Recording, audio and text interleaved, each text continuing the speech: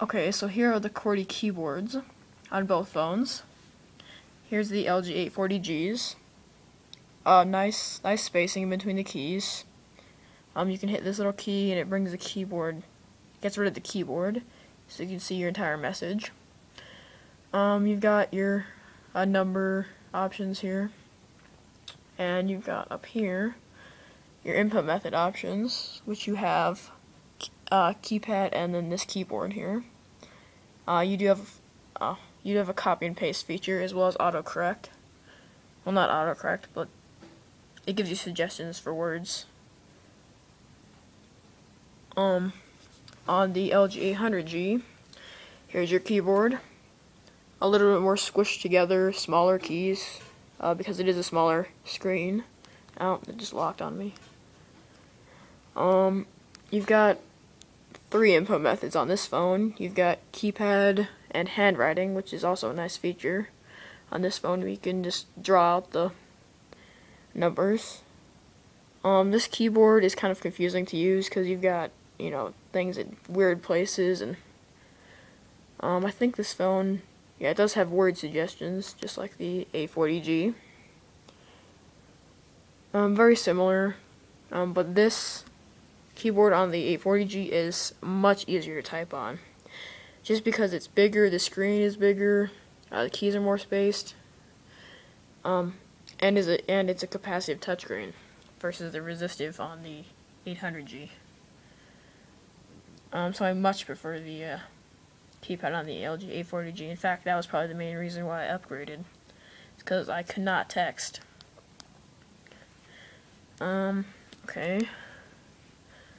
So next, let's go to kind of the app drawer, which is an Android term, but this is very these operating systems are very similar to Android. Um, so here they are on both phones. On the LG 840G, um, it's more of a white theme, and on the LG 800G, it's more of a black theme. The icons uh, look similar on both phones. On the um, LG 800G, you can actually change the theme up to more of a white theme, similar to the uh, 840Gs. But I have it set to the black one right now, obviously. So on the 840G, you have three pages of basically applications. Um, a nice smooth scrolling with the capacitive touchscreen.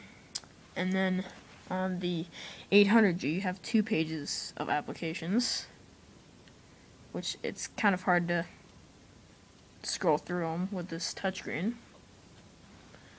Um, things are ordered similarly, like you have prepaid, contacts, messages, recent calls, or dialing, recent calls, camera. Well, yeah, camera and games and apps.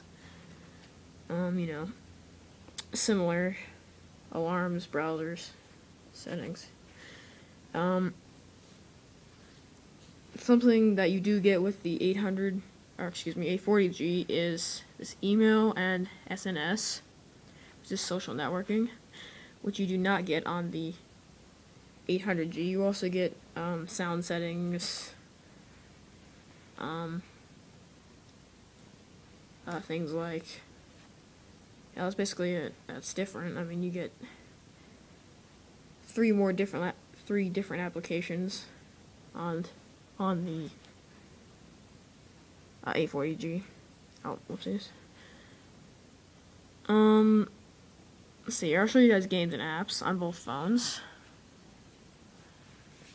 Um, so both of these phones support Java games. Um, I used to have more games on this phone, but then I took my SD card out and put it into this phone and so now I don't have them. But these are the two games that come on it. Um, they're organized in they're both organized in similar ways. They both have buy games at the top, which I don't use because that's a waste of minutes. Um, and then you list of your games here, but this has an info button here to kind of let you know stuff about the app. Um, so on my 840G, I have Angry Birds, Asphalt 4, Doodle Jump, Facebook, Fruit Ninja, Jetpack Joy, or Jetpack Soldier, which is a Java version of Jetpack Joyride, um, Opera Mini, UC Browser, and Uno. Um, Uno and Asphalt 4 both came on this. And they're just demo versions. Uh, which is kind of where the LG 800 takes a lead. Because these games are not demo versions, they're full versions of the game. Um, and they're pretty fun games, both of them. And Uno and Asphalt 4 are not very fun, in my personal opinion. Um, on this phone, you have an option. Um, not right now you don't, but when you download games, you'll have an option to turn the keypad on or off. And with this phone, you do not. You have to uh, go through this complicated process to get them off. Um, which, if you want to know, it's in my. Uh, the directions are in the in the description on my review of the of this phone, the LG 40G. Um, they're very comparable in gaming. Of course, you know you're gonna notice a pretty considerable difference with the capacitive versus the resistive touchscreen on you know touchscreen um, made games, games made specifically for touchscreen phones. You know you can move both phones to an SD card. I mean, excuse me, you can move games on both phones uh, to an SD card. Um, so they're very similar. Um, I'll go ahead and show you guys calendar on both. So calendar is, where is calendar? Oh, it's up here. So no, very similar calendars. Just take dif different themes, white versus black. Not much to see there. Um, one thing to note about the LG 840G is it does have um, actual virtual back buttons, not just these. As you can see, this does not have a back button. You have to actually hit this key to go back. Or you can hit this one on this phone to go back. So, um, I guess I'll show you guys camera next. So, as I said earlier, the cameras are both 2 megapixels on um, both phones. Um, kind of similar layouts. Um, this does not go away on this phone, and that bar does go away. Um, you can adjust on this phone. You can adjust the white balance, resolution. You have a bunch of settings like night mode, color effects, stuff like that. Um, and of course, you got zoom and brightness. Um, right here is the link to your gallery, and if you hit right there, you can get to the video recorder. Um, with the 800G, you got the same basic thing here where you can hit this. It's kind of hard. Uh, yeah, it's really hard actually. And there's the video recorder. Oh. Okay. I guess my battery's dying. It's not letting me access the camera. Sorry about that, guys. I was actually going to take a picture with both of these and show you guys if there was any difference, but I guess I won't now, because that's dying. Um, browsers, I'm not even going to compare because this cannot access the internet anymore. It's not activated, and it doesn't include Wi-Fi. Um, you know, alarms are similar on both. Voice recorders are similar on both.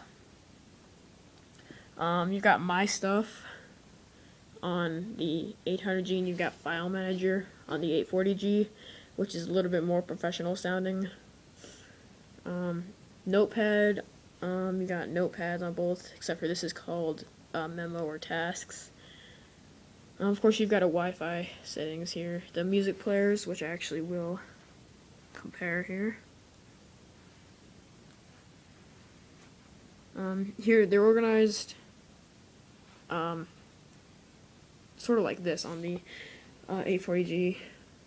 Um, you come, when you first click on the app application, you're brought to this menu, which is all your songs. And if you click up here, you can access your playlist, artist, albums, genre, and favorites. And you have your shuffle, you're now playing, um, everything like that.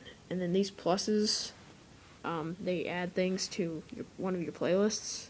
It's called Add HOC Playlists. And on the 800G over here. You got thing organized, got things organized um, in recent recently played, all tracks, artists, albums, genres, um, that type of thing. And you can add things to playlists, just like you can on this. Um, I wonder if this will let me play a song here. I'll, I can play the same song. Oh, okay. I completely forgot I have no music on this. Oh, that's a bummer. Oh yeah, it was on my SD card, which I moved over to this phone. yeah, sorry about that. This review, or comparison, is just full of disappointment, isn't it? Um, the music players are really comparable as far, and sound quality is comparable too. They both sound about the same. Um, they're really loud. They're, they sound a lot better than my iPod Touch speaker.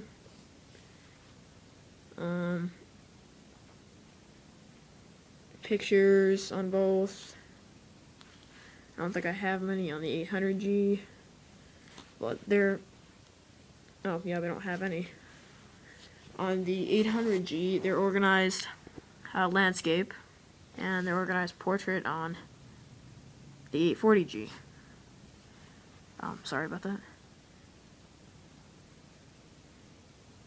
Um, yeah, that's really all there is to compare. They're really similar operating systems there is just more uh, features and applications on the 840G.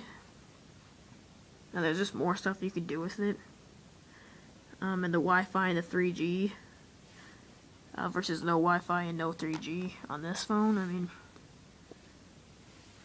yeah. Um,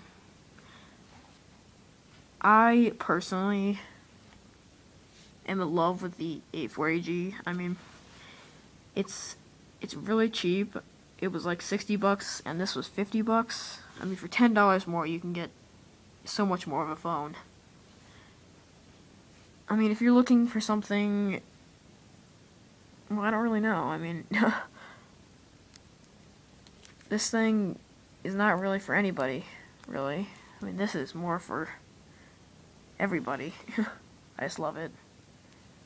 Yeah, I'm sorry. This comparison is not very good. I'm really apologize about that. I'm really an amateur comparison person slash reviewer. Uh, yeah, so sorry about that, but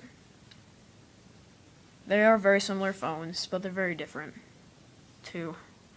Uh, so thanks for watching, guys, and I'm sorry about the length of this video. Um, I hope you enjoyed it, and please like and subscribe. And uh, thanks for watching, guys. See ya.